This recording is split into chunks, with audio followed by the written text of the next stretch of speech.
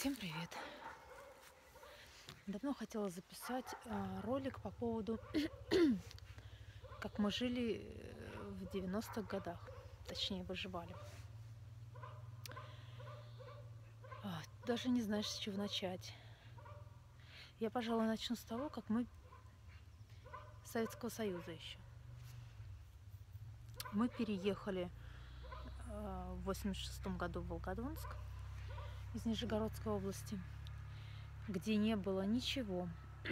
Я помню магазины, а, вот синие магазины, синей краской покрашенные.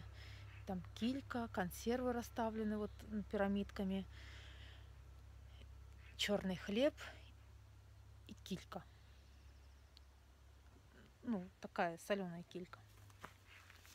Вот это вот мое это. Ну, там, конечно, была сметана, все это было натуральнее, чем сейчас. Э, подсолнечное масло, я прям помню этот запах.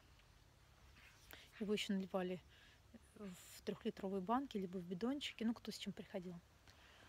Так вот, когда мы переехали в Волгодонск, то все стало как, бы, как перевернулось. Такое было ощущение, как будто мы за границу попали. Во-первых, э, сам город молодой, дороги широкие, улицы широкие, везде свет.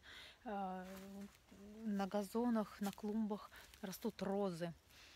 И все это никто не срывает, не режет, ну, все это цветет, все это ухожено. Это была вообще красота. И были супермаркеты такие, по тип наших.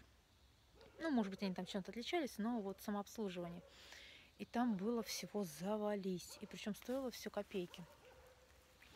И, в общем, мы как в рай попали с голодного края.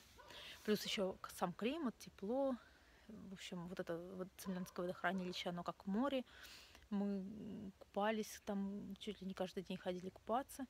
Ездили то на Пятый канал, то вот на Цемлянское водохранилище. Ну, в общем, мы наслаждались. Но все это было недолго, все это нас, наше наслаждение. Пришли, значит, вот 90-е годы. В 90-х годах уже было такое веяние, уже чувствовалось. Мы поехали на море в Кабардинку на машинах. И тогда было вот прям чувствовалось отношение вот местных, особенно вот не русских, вот к нам. Это прям вот напряг такой чувствовался. Ну, дальше краше. Потом, так у нас в 93-м, кажется, да, отсоединились э, Украина с Белоруссией. Так, что тут ну, надо восполнить эту часть истории. Потому что с 91-м я еще иногда путаю. Вот когда... Ну, мне тогда было сколько? Ну, в 93-м, наверное, уже лет 13, не 14, 12, 13, наверное, так. Ну да, наверное, так. Ну, не суть. Просто я помню вот эту ситуацию, когда родители сказали, ну все, теперь Украина не с нами. И я для меня это был какой-то, это ну, как это, это как все равно, что сказать, ну все, э, Москва теперь не с нами, или там Владимир теперь не с нами. Ну, вообще как-то не укладывалось. Я помню, тогда такой был какой-то вот, ну, я почувствовала внутри какую-то боль за это, за все. Потому что для меня Украина и Беларусь это было, ну, как бы одним целым таким, ну, просто назывались по-разному, да, там то же самое, как Сибирь, там Татарстан или еще что-то. Ну, как бы все это в составе одной страны. Ну ладно. В общем, вот эти вот стали такие тревожные звоночки. И потом, в общем, вот с 93 -го года начался полный какой-то такой постепенный, нет, еще, еще не полный, еще только вот начиналось. Менялись тут и деньги, и, и как-то все было непонятно, неопределенно. И каждый день ты просыпаешься, не знаешь, что тебя будет ждать к вечеру. Начали появляться вот эти вот группировки мафиозные, но они уже были, но как бы они проявлялись более э, ярче, более наглее. Я помню, девчонки рассказывали, шли с репетиции вечером. Им нужно было дорогу перейти. Они стоят, машины едут, ну ждут. И вдруг говорит, начинается из одной машины в другую стрельба. И мы, говорит, такие стоим возле дороги, вот они, говорит, перед нами проезжают, стреляют, а, а нам что делать? Это, то ли бежать, то ли ложиться. В общем, пока они тут думали, что им делать, они уже проехали. То есть это было вот в городе как бы, ну, обычным делом. Ну, я не попадала ни разу, слава богу.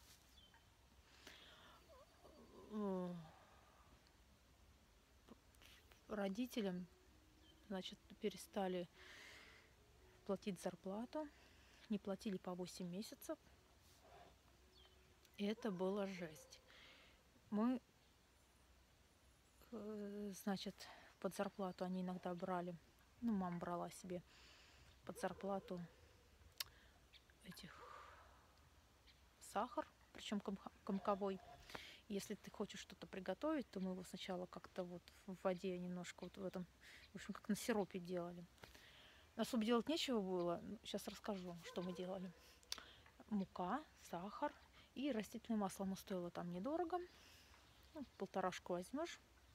Еще, да, у нас было 20 литров, наверное, масла. Это мы тогда колхоз убирал семечки, а вот то, что подсолнухи остались какие-то, мы их вот добирали там в мешки, сдавали на отжим, вот их отжимали, и вот у нас было масло. Вот какой-то вот период времени у нас было вот это вот масло, которое активно использовалось, потому что как бы особо использовать было нечего.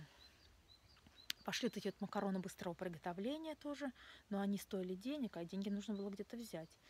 И как вот мама сейчас, и тогда вот этого уже не, не очень помнила, а вот сейчас я узнала то, что мама как-то там зарплаты, ну, как-то себе там чуть-чуть урезала в чем-то, чтобы мне и брату вот эти вот хотя бы макароны были. Там о шоколадках, конфетах это можно было вообще забыть. Ой, спасибо парням, которые за мной ухаживали. Вот они иногда приносили шоколадку. Это было прям вот, ну, радость какая-то. И что мы делали вот с мукой? Если была мука и сахар с маслом, то это все. Ну, как бы уже не печалились, было все нормально, потому что мы делали печенье на рассоле. То есть берешь рассол из под помидор, или из-под огурцов. Вот из-под помидор он лучше они вкуснее получались.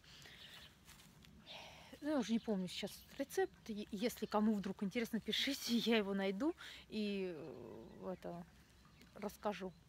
Ну, он был не хитрый. Мука, соль, ой, не соль, сахар, вот этот вот комковой, который раз в этом рассоле разделывали. Ну, наверное, все. Но я не помню, масло туда вливали, нет. Наверное, нет. В общем, вот эти вот лепешки там делали такими шариками и на, в духовку вы, выпекали. Иногда делали этот морковный пирог. Потом что-то типа пончиков. Мне кажется, колокола звонят у Михалкова. В церкви. Не знаю, тут музыка играет еще, люди отрываются, видимо, на природе где-то. Вот. Э, ели вот эти вот лепешки. Мы их делали много, потом делили каждому. Уже каждый мог съесть сразу, либо растянуть. Ну, у кого как получалось. Это вот основное. Потом бабушка приехала как-то и, и при, ну, купила нам упаковку макарон. Ну, прям в коробке. Длинные такие спагетти. И вот эти макароны еще пошли в ход. Ну, естественно, картошка там, овощи мы сами выращивали, а, потому что дачи были. У нас было две дачи. Одна была в аренду взята, потому что она была поближе, а та, которая была у нас наша, ну, как бы давнишняя, она была очень далеко, туда далеко ехать. Причем, знаете, как было ехать? Нужно было очередь занимать на автобус. Это где-то получалось, э, я иногда, если хотела туда поехать, это 4 утра я вставала, бежала, потому что автобусы еще не ходили, занимала там очередь, ждала часа два, и только потом ехала. Ну, там мы уже ничего не сажали, потому что, ну, добраться было тяжело. Мы ее туда покупали, когда у нас была машина. И вот, и когда мы а, это все, ну, вот это вот началось, машину продали, в общем, я приезжала туда, и чтобы успеть на этот же автобус, я, в общем, неслась с ведрами, собирала клубнику, иногда вишню, ну, что, в общем, по сезону росло. И с этими же ведрами, вот прям вот ну, бегом, уже там не час шести, ничего, лишь бы успеть на автобус. И потом я поняла, что некоторые думали, что я бегаю воровать. Ну, потому что я ничего не делаю. Я только приезжаю, забираю урожай и уезжаю. Вот. Но я не часто была. Вот такой слух ходил. Еще у нас дело в том, что у нас там был вагончик, когда, ну, домик такой, и он у нас сгорел. Я так думаю, что мне надо заканчивать ролик, потому что время уже, это, у меня большие ролики не грузятся, монтировать я еще пока не умею, и э, большие ролики загружать тоже. Поэтому, наверное, еще сделаю как бы вторую часть. И подумаю еще, вспомню, как, что было еще интересного.